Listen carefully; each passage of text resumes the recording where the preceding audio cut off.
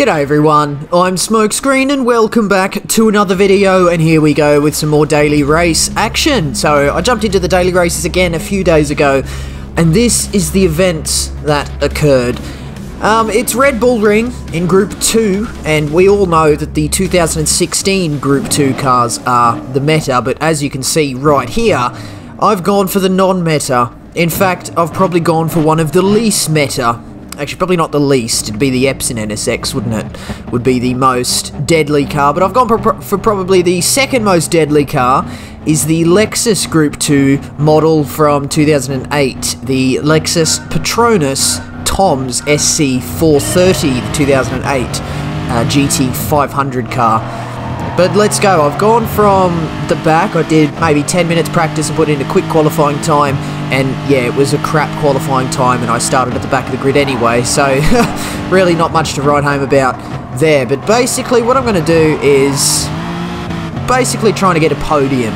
I think if I can get a podium from near the back of the grid, I've done good enough. And I think it is possible, but it will be very difficult given the uh, circumstances here. But we're just going to make sure we get through turn three cleanly. Car goes very wide, and we're going to try and get up the inside. He's disappeared from behind me, and he's actually grinding on the barrier. So we've made up one position there. We're starting on the medium tyres, which is the harder of the two tyre compounds that we have to use for this race. And of course, being at the start of said race, they are they are, are very cold, so not much grip up for offer at the start of the races here, so we are going to have to just make sure we keep this car in check, and it's a very difficult car to do. So, this car has very little downforce in terms of Group 2, and um, therefore it's actually pretty leery on the throttle, especially coming out of Turn 1, uh, Turn 3 and Turn 4. The rest of the corners are okay, um, but we know Red Bull Ring is plagued with curb glitches all over the shop. There's one on the exit of turn 7 onto turn 8. There's a curb glitch, and even in the exit of the final turn. Just here on the exit, the curb there has a glitch on it as well, and it can just throw your car up without any warning whatsoever and spear you into a barrier, so let's avoid that. We're coming into turn 1, look up the inside here, and I'm just out of practice and completely missed the braking point, and smash it up the inside of a couple of cars there, actually, namely the O, uh, the 16 Lexus that's now up in 14th. We've lost positions out of that, and nobody actually died, so that's fine. Back down into last, we'll just treat it as a 13 lap race. Now, coming up into here, I bumped the back of the Honda and then as he's getting on the power, he spins out. Unfortunately, we are going to see a little bit of that. I was sort of struggling with the braking up into turn three there. And I ended up bumping a couple of cars, and I have left it all in the footage here that you're going to see. Um, so there's no hiding what I've done. I'm not sure. It's such an awkward thing there. It's like you bump into someone and then they end up wider than they normally do and then they end up losing it on the curb on the exit. Like, is that my fault? It's a really big question mark. It's obviously my fault if I smash them wide, but if they then follow, if they then go on to lose control, whose fault is that? But coming into here, I've got to go around the outside of Shane, but then I had another car on my left that was just forcing me, sort of, I was running out of road and I was about to smash into Shane. It all got very awkward. He ended up spearing into the grass. I think that's just a racing incident. I had nowhere to go. He didn't leave me any space to go and try and avoid Shane, and he ended up um, coming off um, second best in that particular instance. But we're up in 12th. We're going to fast forward through to the final turn. Let's see if we can get a good exit here. We do. But then on the curb, bang, we've got that glitch. And we've just smashed it into the barrier and got a penalty, a 1.5 second penalty as the cherry on top. So that's exactly what I'm talking about. Like, I was square on the curb, the car was gripped up nicely, and I've gone deep here. The tyres have just been overheated um, because of the sliding across the circuit as I spun out. But yeah, I'm going to have to serve this penalty now. And the penalty serving zone on this track is on the exit here as we almost spin out for a third time there. And thankfully no extra penalties. But that's what happens you spin out, the tyres all scrub up and it just overheats the tyres and you end up with a sharp drop off in grip. Once the tyres cool off a little bit again, you get grip back but we were in last for a while, but then Shane had binned it unfortunately on the exit of turn 1, and we managed to get that position up into 16th, and that brings us to the end of lap 6, which is going to be our in-lap. Um, we'll see how we go. I wasn't really sure when I was going to pit. I'm not sure how long the soft tyres last, which is the compound we're changing onto now. I really wasn't sure how long they'd last, but a couple of other cars in the mediums went in at the end of lap 6, so I was like, you know what, whatever, we'll give it a go. This race has gone down to the toilet, so if it ends up being too early anyway, um, we at least uh, aren't really risking too much. We're not really throwing too much away. We're going to fast forward all through this outlap, and we're going to come past the pit lane again and see if there's any positions that we managed to jump in the pits, because it's been a fairly okay outlap uh, until this point where we lose it on the curb again. Just getting too much oversteer and then it gripped up as I tried to correct it on the curb and yeah, really, I've just completely binned it again. And we are down in last position. There's nobody I'm about to jump in the pits, unfortunately, so that is that. Um, somebody disconnected, so we're up into 16th, but unfortunately for Shane, he's binned it on the exit of turn 1 again. We're up into 15th out of 16 remaining cars. Penalty to be served up ahead, and then on the exit of turn 3, he's going to serve that penalty. That's Lego Wheels 1. We're going to get past him fairly convincingly up the inside, heading down into the braking zone for turn 4, and we're just up behind Daddy Shark. At this point, we're going to be looking to get the move done here.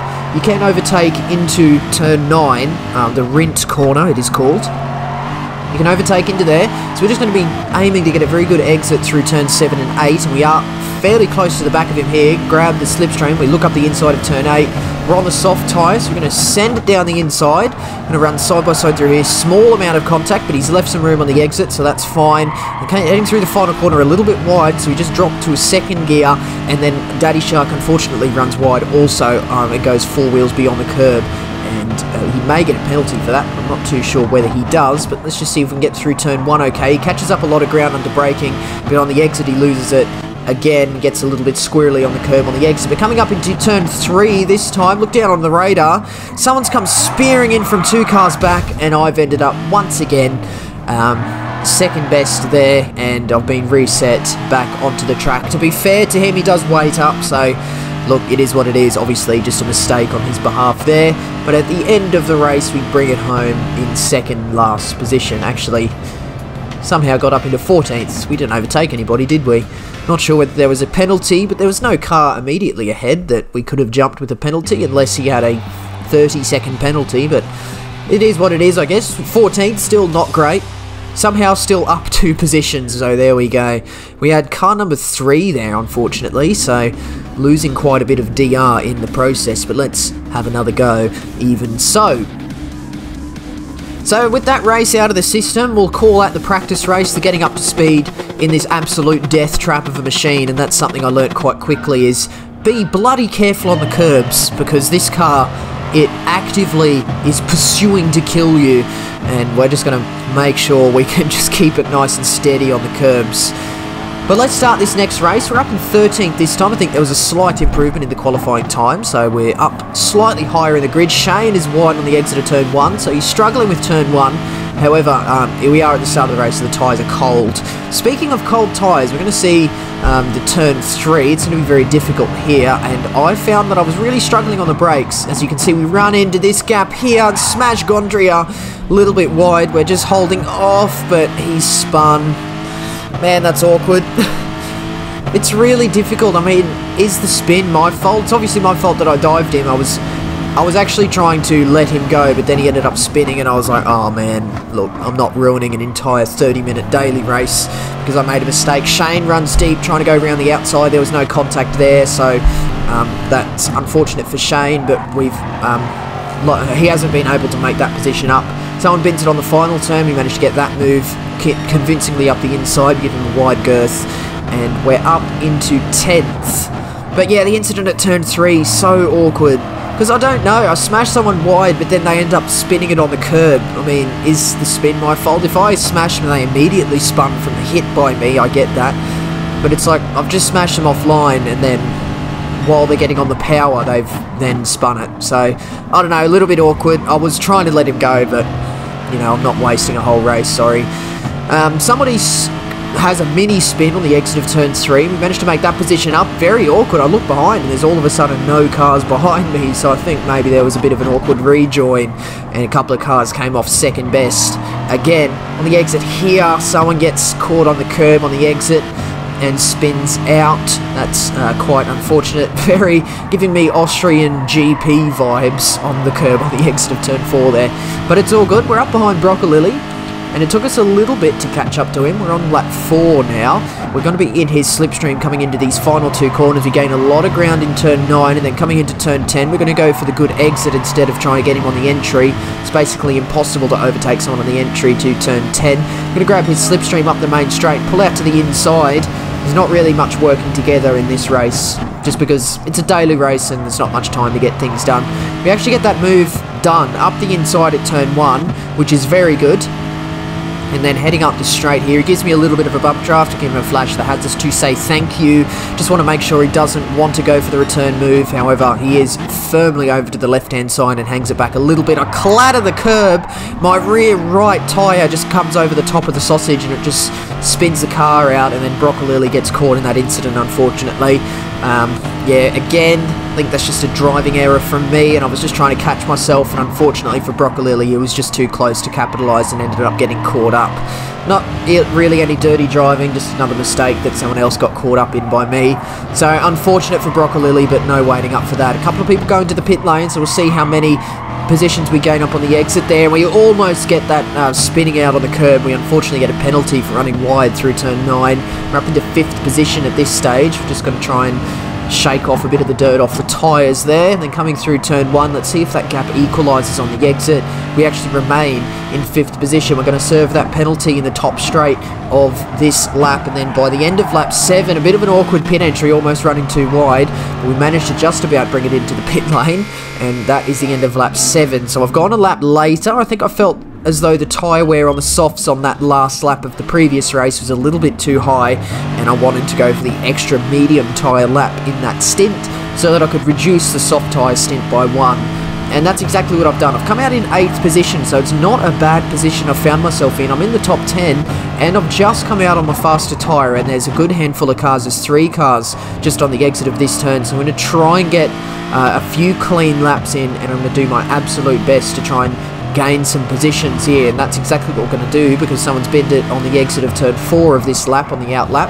We're coming through the pit straight one more time on the exit of the final corner I'm up into 5th. A few more people have gone into the pits and I can see way up in the distance there's some squabbling at turn 1 and a couple of cars were going side by side. Actually, someone comes out of the pits just ahead of me, so I am in 6th at this particular stage, but um, Sajjad 36, we caught up to him quite quickly. By the end of his outlap, we've caught up to the back of him. So um, either he's struggling with cold tyres or he's come out on the mediums.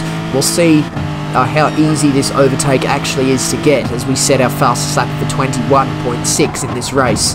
Not too bad, about 7 tenths off the current fastest lap by V8 Nut. But we'll see how we manage to go in this race against Sajjad. He runs a little bit wide on the exit of turn 1. Gives us the inside for turn 3, the outside for turn 2, but it's basically a nothing corner. Coming up into the braking zone for turn 3. Let's see if he manages to hang it around the outside. I unfortunately just struggle to get the power down a little bit, and I don't, probably perhaps don't quite move to the inside fast enough. That gap is open just long enough for Sajjad to get the more superior grip off the exit of turn 3 as we go over the crest, which is what makes the acceleration period out of turn 3 very difficult. And the exit turn 4, he leads on me a little bit. I don't quite make it to the gravel, but I think that was just about fine in terms of cleanliness or a racing move.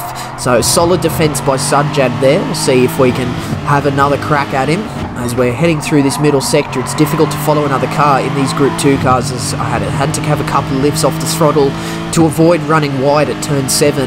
But we're going to grab his slipstream. Coming into the final couple of corners, we're about two tenths behind, so the dirty air is going to be massive. Coming through there, Sajjad makes a small gain on me, and then through the final corner we get a very good exit there actually.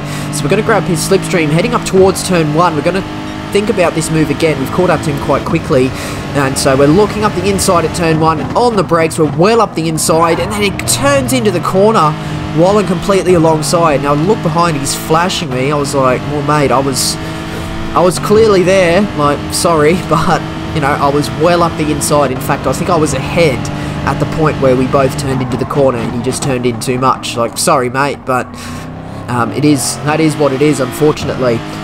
So we skip ahead if you manage to catch that, catch that little jump there as we rounded the corner and all of a sudden we've got a car serving a penalty ahead of us, but it's Yamaha 15 We caught up to him in a couple of laps, and he unfortunately was serving a penalty too. So that's just put us up into fourth position.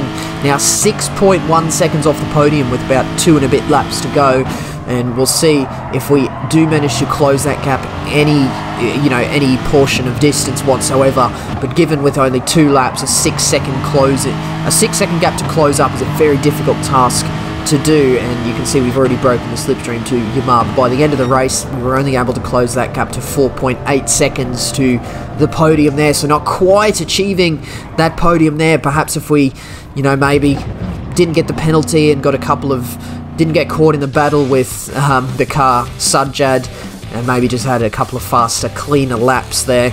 May have been able to do it, but in this particular instance, we only managed to get up to fourth. However, it's still a net gain of nine positions, so not bad at all, even though it was tainted by the lap one, turn three little incident there, but we'll just aim to be avoiding that in this next race here, we're once again behind the driver that we unfortunately nudged off track at the start of the last race, Gondria. So we're just going to make sure that we don't run into the back of him, probably taking a little bit of a more tentative approach on the uh, start of this lap here. So it's a little bit awkward with the few cars up ahead. Car darts to the inside and Broccolilli is defending very aggressively up in towards turn three and I get dived by another car um, there. That's all, uh, you know, that, that is what it is. That's fine. A car bins it on the exit there and we're just going to grab the slipstream of Takari. So thankfully we did not um, smash anyone off the track at turn three. But coming into turn four, we've got a car looking around the outside. This is exactly what we saw in the Austrian GP and I've just got some understeer and I've nudged him ever so slightly and unfortunately for the other car he has touched the gravel so man awkward again you know it's just so hard uh, on the opening lap. With the cold tyres I'm really struggling with trying to judge the amount of grip that the car has. And it's really difficult to do. And in that particular instance on that I just had some understeer. You know it wasn't even full throttle powering to the outside. I was just trying to get onto the power as smoothly as possible and turning as much as I can to leave the space. But it didn't quite work out on that particular occasion what hasn't also worked out is my sort of addition of lap uh, of turn 1 on lap 2 and I've run a little bit wide at turn 1 and got myself a penalty which I'm going to serve on this same lap. Thankfully the penalty serving zone is far enough away from turn 1 that you can serve any penalties you may get in that particular penalty hotspot on the same lap so you don't have to wait an entire lap to endure the very difficult penalty um, serving activity there. But anyway, let's refocus on the job at hand. We actually have a little bit of a pressure being applied by a player behind. Charlotte is second. Behind me is actually very racy through this field at the moment, so I'm not sure whether they had an incident on lap one and they got put behind me or whether they're actually supposed to be further up the grid and hasn't qualified. But i I was really getting caught up very quickly by this Charlotte is second person. So we're seeing at the moment, we've run side by side through turn three, so very good racing, and we're seeing an example here that these 08 cars actually don't really have the power to match uh, at least the 2016 model Lexus in a straight line. I don't know whether it's just this particular 2008 car, but I definitely found or felt that I didn't really have the power to put down on the straights for some reason. I always thought these 2008 cars, they weren't as great in the corners, but they're better down the straight. I don't know whether there's been a balance of performance adjustment in Group 2, but yeah, I definitely felt I had the power disadvantage. Coming up to turn 1, they're all caught on the curb there, and just as I've gone to avoid it, I've spun out and hit the wall on the inside. So I think I was just on top of the sort of yellow sausage on the uh, exit of turn one, and just as I've gone to turn and steer around the incident ahead of me, I've slipped off the edge of the curb and the car has just spun to the inside. So I find myself down at the back of the field again, pushing very hard, and just on the exit of turn seven, I just touched the gravel trap on the outside of the curb and I get myself a half second penalty, which I'm going to have to serve on this lap. Broccolilli has unfortunately binned it on turn three, so I make up that position and I serve this penalty on the same lap. Find myself on track once again with Gondria, so he's going to be serving that penalty and I'm going to be looking around the outside of turn 3 or turn 4 this time and I've managed to keep the car around the outside so successfully defending that position from Gondria there. So even though it hasn't been the opening stint that I hoped for, um, we are at least coming up to the phase of the race where pit strategy is about to get itself involved. So we're on lap 6, or just finishing lap 6, so it's just about the opening of the pit window for a good few players. And you can see we've passed a couple of people in the pit, so we were in 15th, now up in 11th on the exit of turn 1 here. There's nobody coming out of the pit, so we are officially up into 11th position. However, we've still got a pit stop to do, which is going to be done on the end of this lap. So, as we're exiting turn 3, we've got a car that's either made a mistake or... Actually, they have made a mistake. I thought they may have served a penalty, but I realised they found themselves stationary before the penalty serving lines. So, we are now on track with another car, which is not really what I wanted for my in-lap. I wanted to try and see if we can gain any positions um, through the pit phases, which of course would have relied on me getting a very clean and very quick in-lap, out-lap compared to the cars that went in earlier. But I'm now battling with Takari, and I can tell that he's slow because I'm getting overlaps through this middle sector, which is almost never possible. And I've just about got the move done at turn 7. I think there was a little bit of contact, but Takari ran wide and did give me the opportunity. So I have lost time on this lap, but at least I got a good little bit of racing there. And uh, this is the end of lap 7, of course, so we're going to sweep it around to the pit entry. Very strange pit entry here. We actually get a very good pit entry there, keeping a nice high average speed into the um, pit lane. But we're going to jump onto the soft compound tyre again and come out of the pits and see if we've managed to hold off any of these positions. The answer is no. We find ourselves in 15th again. So, yeah, um, uh, when I found myself on track with Takari, I didn't I didn't feel like I was going to be able to keep any positions. I may have got one if I got a clean in lap out lap, but yeah, not quite going to work on this particular occasion. But we're once again still defending from Takari on the exit of turn 3. We get a little bit of a poor exit there, but Takari just about getting getting an exit to match, and he's going to be looking at the outside for turn 3 or turn 4 again. We're going to see if we manage to get through here side by side this time, and he's run a little bit wide on his own accord, but doesn't doesn't catch the gravel trap there. So we're just going to cast our eyes to the gap behind. If we can now break the slipstream, that would be very uh, pivotal there. Uh, evidently we did because we've skipped ahead. We've caught up to this battle here. One, two, three, four, five cars. It only took us a couple of laps on our soft tyres to catch up to this group of five cars. So if we play, if we play our cards right, potential top 10 could be on the cards for this race. So First port of call is Mike A437. Let's see if we can get past him as quick as possible. Passing at Red Bull Ring, it really consists of trying to get a very good middle sector to get closer to a car and then using the straight sections um, as sort of slipstreaming uh, slipstreaming spots. He's run wide at turn one, which is a pinch point in these cars. He, he, has grabbed the inside and has not picked himself up a penalty for running wide at turn one. He did lose time, so that's fine. Was going to be looking around the outside of turn three, very difficult to do, but I do have the soft tyres underneath me, but Mike just about defends that beautifully and has just parked his car right where I wanted to put mine, and I'm not quite able to get the power down going up that crest on the exit of turn 3. I'm going to grab his slipstream heading into turn 4. We have to be really careful not to run into the back of him. As you can see, I just darted to the inside just to try and fill his mirrors with this uh, SC430 Lexus here trying to pressure him to a mistake, but it's not quite happening. He thinks about running defensive into the middle sector, but I'm not going to overtake into turn 6 here. If I'm going to overtake, I would dive in turn 7, as I did on Takari, um, but he meets that apex nicely, just touching that curb and getting the power down, and slightly earlier than me, in fact, and he's got himself a very good exit, so he's probably just about done enough to defend a potential move into the following corner down here at turn 9, so I think the next opportunity we're going to have is turn 1 or turn 3 of the next lap, so as we clatter down the curb on the exit of turn 10. We're going to grab the slipstream once again of Mike, and he's just about once again done enough to just fend me off for turn 1.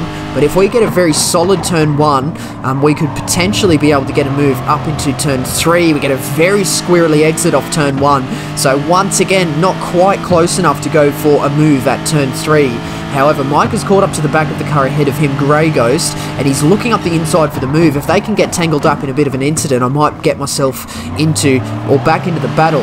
Mike has just had to brake early to defend uh, not to defend, sorry, just to avoid from, you know, having a collision with Grey Ghost, and I'm just about in the slipstream of Mike once again. I'm just getting caught behind him. I mean, you can have a look at my lap times, a 121.6, 121.4, 121.8, and then as soon as I caught up to the back of Mike, 123.1. So it's so easy to get caught behind a car here because um, turn one, is very situational, and then turn three is at the easiest of places to go for the overtake. We get a very good exit through here. We're going to be looking up the inside at turn seven, just trying to pressure him into a mistake. He runs wide at turn seven, and then on the curb of turn eight, we're very close to him at this stage, and we're just going to have just the right amount of slipstream as he changes gear just there, and I've got myself ever closer, and I send it down the inside on the soft tyre, and I get that move done and dusted, nice and easy at turn nine. Yellow flag is out, and Grey Ghost has run wide. We're up into 13th. So this gives us another opportunity. Grey Ghost gets a penalty for running wide at turn 10, and we just about get up the inside at turn 1. He completely backs out, actually. We don't even run side by side. I think there's a little bit of lag there, and I end up running wide, and Grey Ghost has spun on the curb behind me.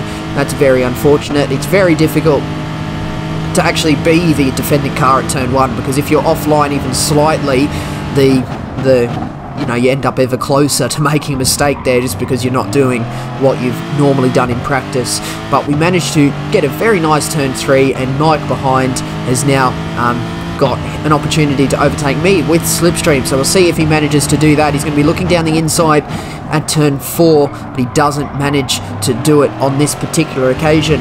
But just because we've been caught in this battle with Mike for a little while, we're not able to gain any further positions up the top of the grid, and we finish up in 12th. However, if we have a look in 6th, I think unfortunately Chi Chi 1010, he does disconnect after finishing the race just before the results are finalised. That's quite unfortunate for him, losing that result, but it does promote us up into 11th again at the end of the day. But we're up two positions there. Once again, not a fantastic race, unfortunately for me, and I did have door number four, so I perhaps really needed to get a podium in that race just to save my DR a little bit. Um, I was doing these races and I was losing so much DR from just doing these races, and I'm thinking it, it really is time for a second account, isn't it? A daily race account, and in fact, that would probably make for some very good content starting a brand new account at the bottom in the slapper lobbies. That would probably be a very interesting couple of weeks as I build that account up.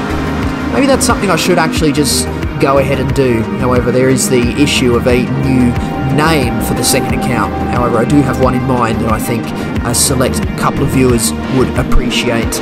Um, but we'll see how that story develops.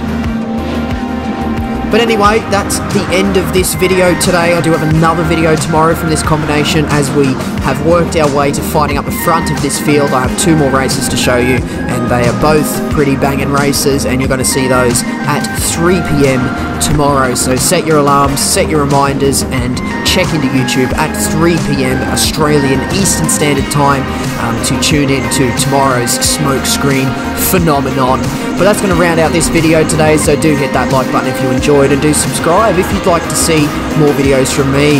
Do leave a comment as well. Questions, comments, and constructive criticism, as always, very much appreciated. But that's going to be the end of this one today, and that means that is it from me. So once again, I do thank you very much for watching. See you later.